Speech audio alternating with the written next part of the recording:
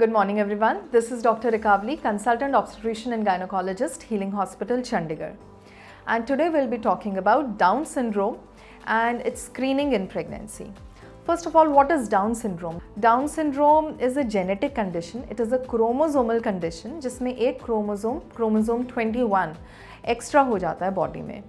Why does this happen because जब egg बनता है और स्पर्म्स बनते हैं और उनकी डिविजन होती है सो ड्यूरिंग दोज डिविजन कुछ गड़बड़ हो जाती है सम ट्रांसलोकेशंस हैपन डिलीशंस वगैरह कुछ इस तरह से एबनॉर्मल हो जाता है, जिससे कि जो अल्टीमेटली स्पर्म और एग यूनाइट करता है to form the baby that is abnormal और वो बेबी जो उससे बनता है, उसमें डाउन सिंड्रोम ट्राइसोमी 21 होता है. Trisomy 21 is very common all over the world every thousand pregnancies every thousand kids who are delivered उनमें से एक बच्चा डाउन सिंड्रोम पॉजिटिव होता है। The medical science has made so many advances कि ये प्रॉब्लम हमें पहले पता लग जाती है। वी हैव सम टेस्ट जिससे कि बहुत अर्ली हमें पता लग जाता है कि बच्चे को डाउन सिंड्रोम है।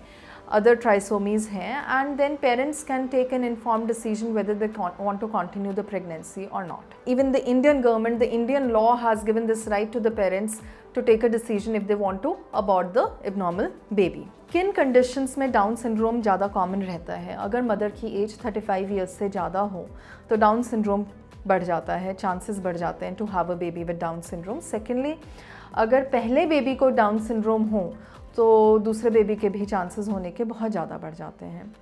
डाउन सिंड्रोम में होता क्या है बच्चे को? देर आर सर्टन फीचर्स जो दिखते हैं बॉडी में और कुछ फीचर्स होते हैं जो फंक्शनिंग में दिखते हैं जो डाउन सिंड्रोम में पाए जाते हैं। जैसे कि बच्चे की आइज़ एबनॉर्मल होती है there is a slant upward slant of the eyes then बच्चे की ग्रोथ uh, कम होती है बच्चा मेंटली रिटार्डेड होता है प्रोट्रूडिंग टंग होती है। देन देर आर अंदर बॉडी के अंदर हार्ट डिफेक्ट्स हो सकते हैं। हार्ट में जिसे आम भाषा में बोला जाता है कि हार्ट दिल में छेद है, वो हो सकता है। इंटेस्टाइन्स में एट्रीजिया हो सकता है ड्यूडिनल एट्रीजिया होता है। Again I like I told you mental retardation is the most common feature in बच्चों का आई क्यू लगभग 50 के आसपास होता है but it varies widely throughout the Down syndrome population चलने में प्रॉब्लम हो सकती है सुसु पॉटी करने में प्रॉब्लम हो सकती है।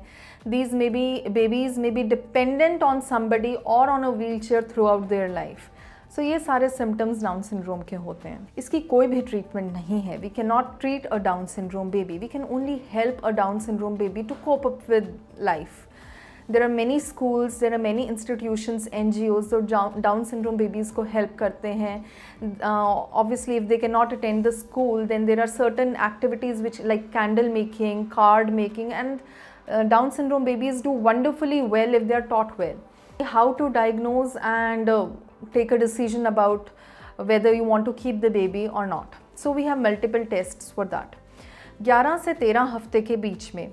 N T N B scan and dual screen होता है। What is N T N B scan N T N B scan में एक नेक फोल्ड की थिकनेस और बेबी के नाक की हड्डी नेज़ल बोन देखी जाती है। साथ में कुछ पैरामीटर्स होते हैं ब्लड वेसल्स के विच आर जैसे ट्राइकस्पिड रिगर्जिटेशन ऐसे कुछ फीचर्स होते हैं जो कंबाइन कर दिए जाते हैं। There is a report which is formed ultrasound पे, जिससे हमें पता लग जाता है कि what are the chances of having a Down syndrome baby इसके साथ ही at the same time you are having your ultrasound done एक ब्लड टेस्ट होता है, जिसे हम बोलते हैं डुअल मार्कर या डबल टेस्ट इन दोनों की एक कंबाइंड रिपोर्ट बनती है, जिससे हमें पता लग जाता है कि हमारा बच्चा 95 परसेंट सेफ़ है, उसे कोई प्रॉब्लम नहीं होने वाली है।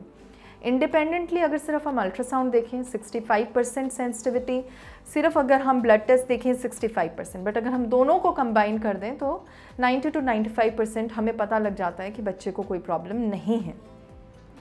कई बार क्या होता है कि समहाउ भूल जाते हैं पेशेंट्स ये टेस्ट कराना। इस टाइम पे पहुँचते नहीं हैं हमारे पास। पेरीफ्री में होते हैं। कई बार डॉक्टर्स एडवाइस नहीं करते।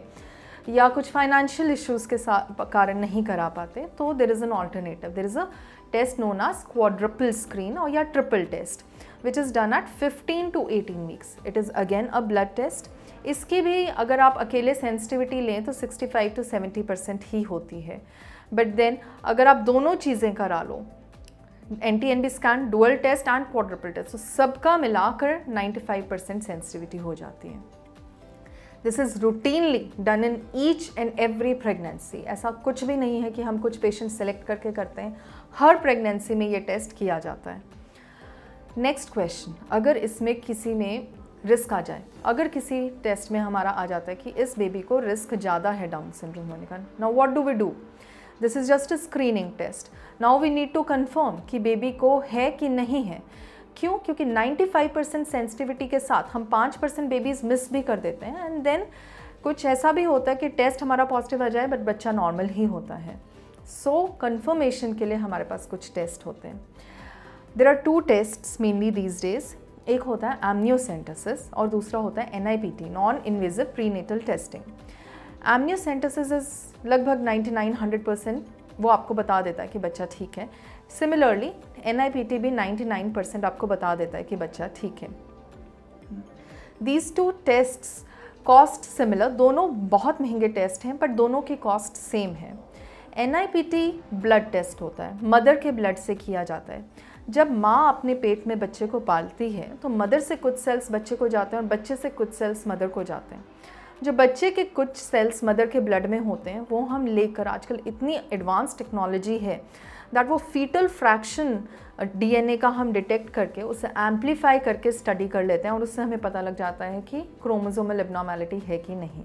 This is a non invasive test इसमें हम बच्चे को छूते भी नहीं हैं। It is done from the mother's blood जो एमनियोसेंटसिस है, उसमें under ultrasound guidance a very very thin needle is inserted and जो बच्चे के आसपास फ्लूड होता है, वो टेस्टिंग के लिए भेजा जाता है। एमनियोसेंटसिस के कुछ रिस्क हैं। If done before 15 weeks it is associated with some abortions and some limb problems in the baby so अगर ढंग से 15 से 18 हफ़्ते के बीच में जाए तो इसका भी रिस्क मिनिमल है। ये डिसीज़न हम पेशेंट को देते हैं कि वो कौन सा टेस्ट कराना चाहते हैं। और एक बार टेस्ट आ जाए देन उसकी रिपोर्ट के accordingly parents they can make an informed decision whether they want to keep the pregnancy or whether they want to terminate the pregnancy. Initially, up till 20 weeks the abortion was legal in India अब 24 weeks तक abortion has been legalise and if some problem comes parents can take a decision so information होना accept करना tests कराना बहुत ज़रूरी है। Definitely there is a cost factor associated with these test but nothing is more important than the health of your child so ये test कराने बहुत ज़रूरी हैं। होपफुली आप अपने गायनोकोलॉजिस्ट की बात मानते होंगे टेस्ट टाइम पे करवाना है बिकॉज़ एक बार हम वो 18 वीक्स की विंडो स्किप कर दें उसके बाद we do not have any test जो हमें ये बता सकता है कि बच्चे को डाउन सिंड्रोम है कि नहीं है। सो so, Kindly listen to your doctor, get the test done, have a healthy baby, have a healthy pregnancy and take care of yourself. We are available for tele and video consultations. You can also put a comment on the comment section and we'll revert to your queries as soon as possible. Thank you.